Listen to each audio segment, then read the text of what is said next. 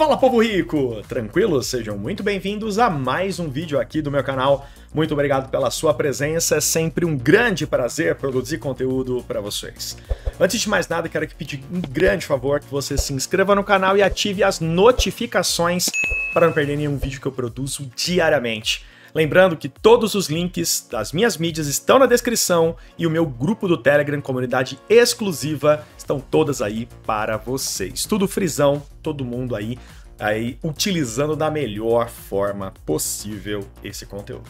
Antes de mais nada, quero sempre trazer novidades, tá, pessoal? E a novidade de hoje é da Bitmart, rapaziada. Eles estão aqui com mais um airdrop e agora com o token uh, do projeto Monsterra, que é um é um play and earn, né, um metaverso, onde tá lá o token que é o MSTR, que tá dentro lá da, da plataforma, eles estão aí com uma parceria de airdrop de 50 dólares. É bem fácil, é só seguir a Bitmart PT, o link tá na descrição para vocês, que é o link desse Twitter aqui, que é o X agora, né? Curtir, dar o RT, marcar três amigos, colocar teu UID. Então, caso você não tenha ainda o cadastro da Bitmart, está na descrição também o link para você fazer e manda bala, rapaziada. O primeiro lugar vai receber 250 é, tokens, o segundo lugar 150 e o terceiro lugar 100 tokens, tá, pessoal? Então, bem simples, vai demorar o que aqui? Uns, sei lá, uns 30 segundos, né, para você poder fazer isso. E fica à vontade, quiser me marcar também nessa promoção, professor na Web3, fica à vontade lá no Twitter. E é isso, rapaziada, não desperdice a chance, sempre com airdrop, todo tipo de oportunidade onde vocês podem ganhar gratuitamente coisas boas aqui, eu vou trazendo para vocês. Deixa eu acertar minha câmera aqui que tá meio torta aí. Agora tá bom. É isso, meus lindos. Então, vamos falar de algo que eu acredito que seja bacana. É citar como que o DeFi ele pode te ajudar. Esse vídeo vai ser bem curtinho, uma forma aí realmente bem rápida para você poder entender, né, uh, de uma forma prática, como que você pode trabalhar com o DeFi no sentido de rendas passivas ou até mesmo com empréstimos descentralizados. Eu vou começar falando do staking, tá? Para quem não sabe, o que significa staking é quando você coloca os seus tokens, então vamos supor que você tenha Ethereum, tá? E que você não quer simplesmente deixar esses Ethereums parados em holding na sua carteira, porque essa é a possibilidade que na minha opinião ela é muito válida, é comprar, deixar na sua wallet, que seja uma wallet protegida, né? Principalmente é uma cold wallet.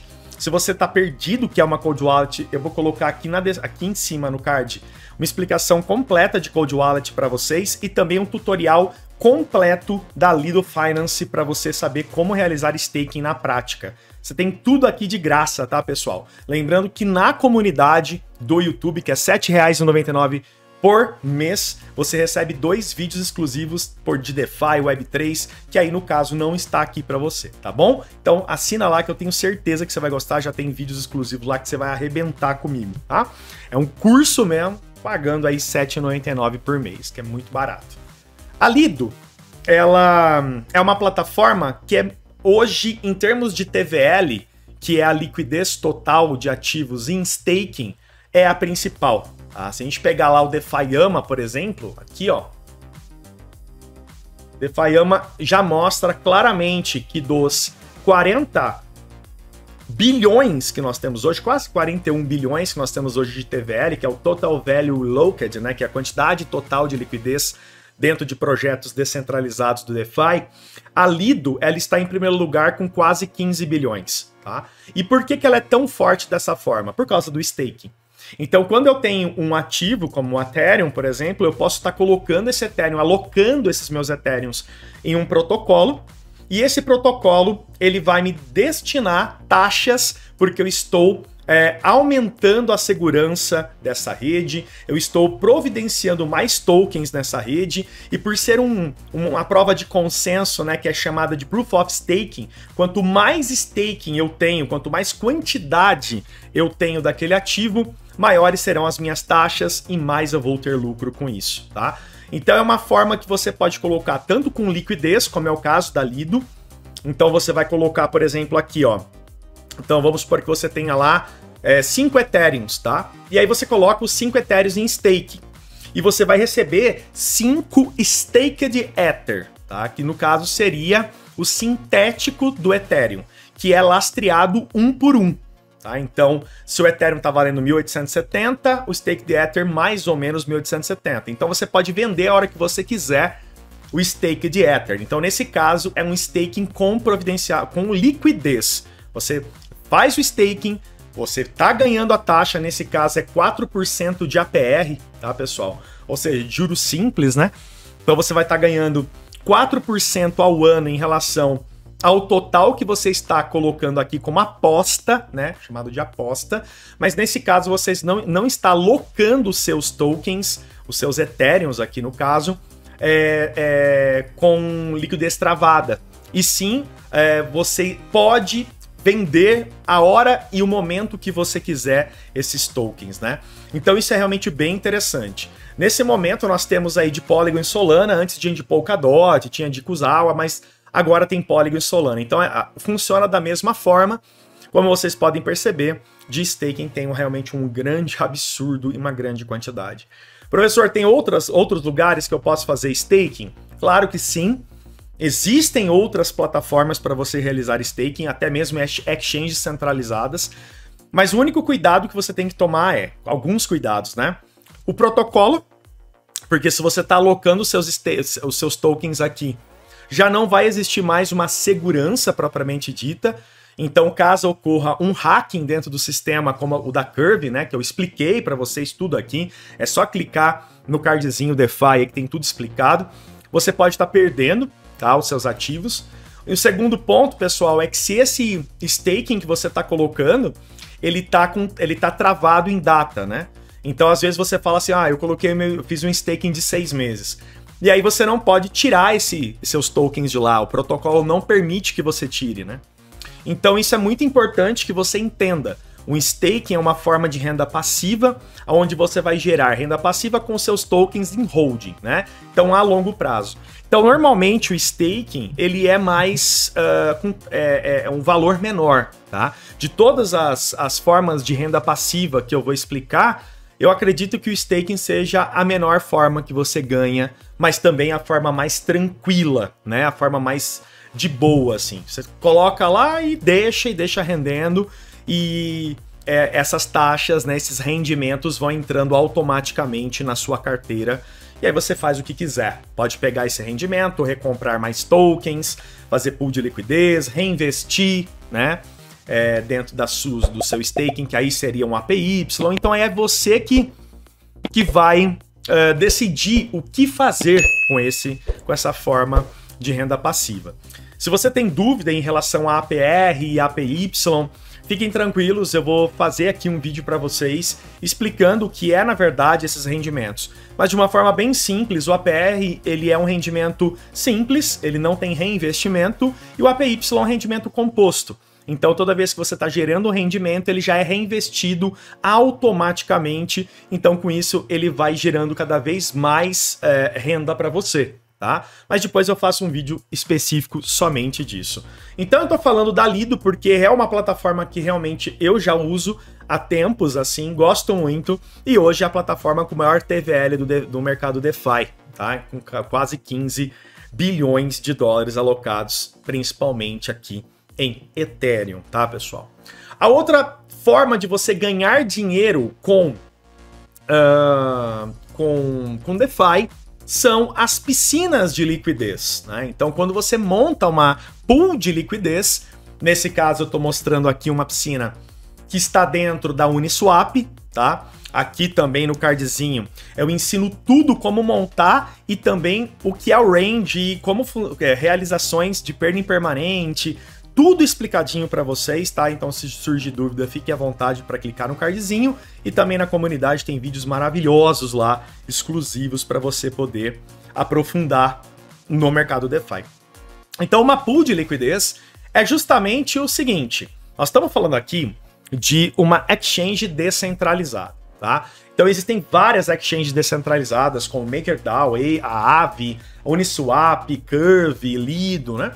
Essas plataformas, pessoal, elas não são é, centralizadas. O que, o que isso quer dizer? Que não tem ninguém ou nenhuma empresa que cuide dela, vamos dizer assim, tá? que faça a liquidez. Cuide, obviamente, que tem, tem pessoas que cuidam, né, para que ela esteja funcionando, mas que não injetem liquidez lá dentro.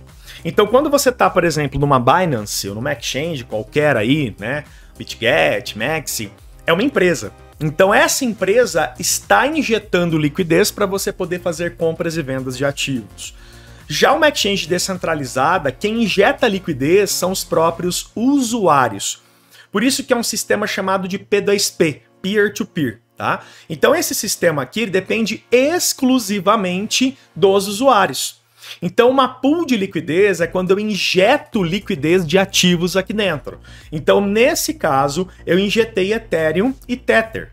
Tá? Então esses dois ativos eu estou fortalecendo para que pessoas possam comprar e vender de acordo com a valorização ou a desvalorização dos ativos. E com isso eu ganho taxas, tá? Então, se eu conseguir realizar processos é, é, que sejam viáveis para mim, onde eu cuide da perda impermanente, faça um bom range, não faça perda permanente, colete taxas, eu consigo ter tanto no mercado de subida quanto no mercado de descida os lucros necessários para mim, seja lucro final mesmo, no sentido de dólar em si, ou lucros com mais ativos que eu quero, como por exemplo, nesse caso, Ethereum. Então, mesmo que caia o mercado, que eu tenha sim a desvalorização do ativo, eu tô no final do processo aumentando a quantidade de Ethereums. Então, essa é uma forma realmente muito interessante de você ter lucros tanto na subida quanto na descida, ganhando com taxas e ganhando com ativos. Muito legal. Eu adoro trabalhar com as pools de liquidez. Acho que elas são muito bacanas.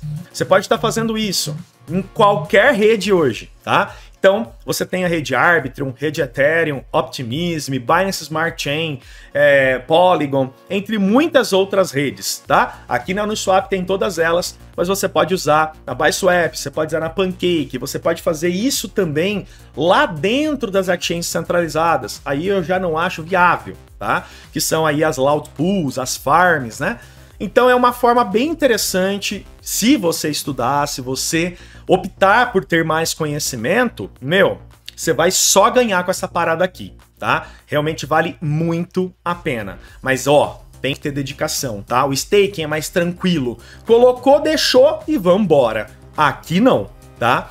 Esse, nesse caso, não é assim que funciona e você vai trabalhar com dois ativos, mesmo que você faça uma pool de um ativo só, mas você precisa de um outro ativo para quando valorizar ou desvalorizar você ter o acompanhamento. Eu não vou entrar em detalhes porque eu tenho vídeos falando disso, mais uma vez está no card para vocês, tá? E também na comunidade.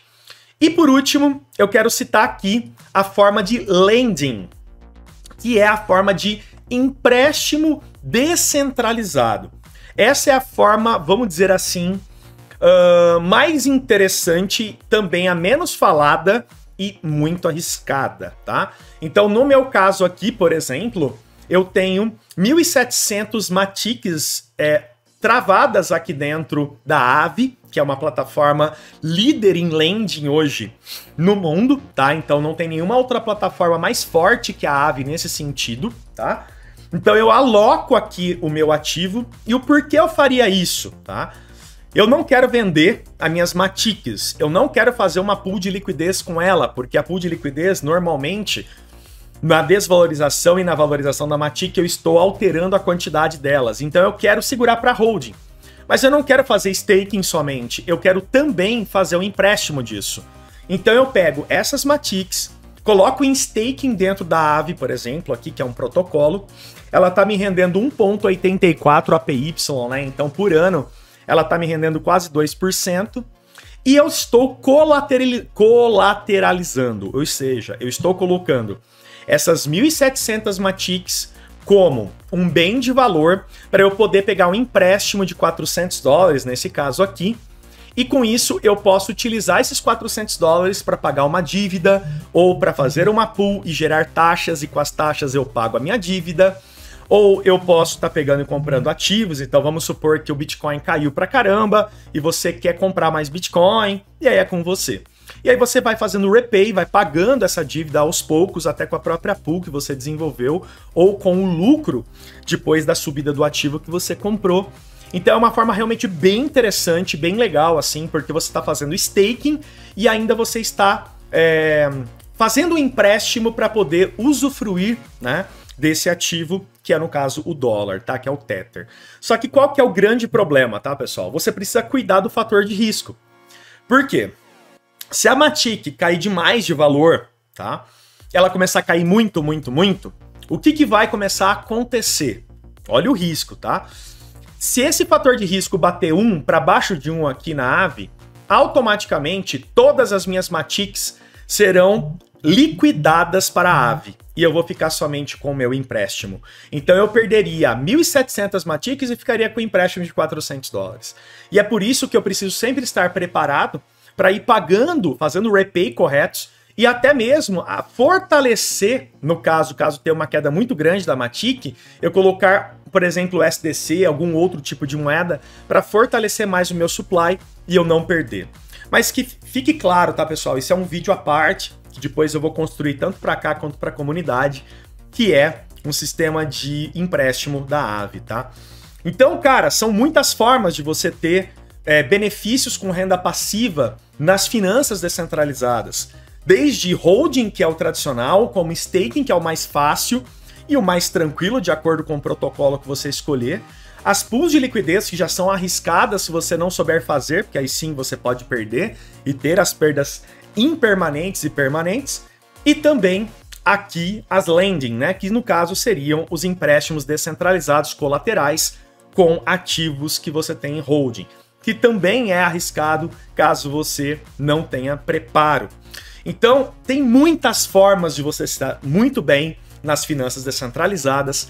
E eu, cara, adoraria, gostaria demais, assim, que você tirasse as suas dúvidas, colocasse aqui nos comentários, dá o teu feedback, porque esse tipo de conteúdo, a gente precisa ter o feedback de vocês, é muito importante. E também, rapaziada, entra na minha comunidade, cara. A minha comunidade tá bacana pra caramba. Mano, eu só tenho elogios para todo mundo que tem entrado nela. Todo dia tem pessoas novas entrando, a gente passou de 400 membros. Tem muito conteúdo exclusivo, tá, pessoal? Além disso, a gente tem aqui os links de convidados que você pode colocar o seu canal, o que você quiser. Tem materiais exclusivos como livros, e-books, tem notícias, tem mentoria exclusiva aqui, né? Gratuita para você. Olha só como eu tiro a dúvida do pessoal, tá? Tem links oficiais com descontos, tem podcast, tudo o que você precisar. E mais uma vez recomendando, temos agora o sistema de assinatura, apenas R$ 7,99 ao mês. Olha só, tá vendo aqui? Vídeos exclusivos como maximizações e gerenciamento de pools, como reverter perda impermanente, tudo que você precisar vai estar tá aqui para você, tá bom? É isso, conhecimento enriquece, não é só o bolso não. Então compartilhe esse conteúdo e vamos que vamos. Um forte abraço para vocês, valeu, valeu e tchau, pessoal.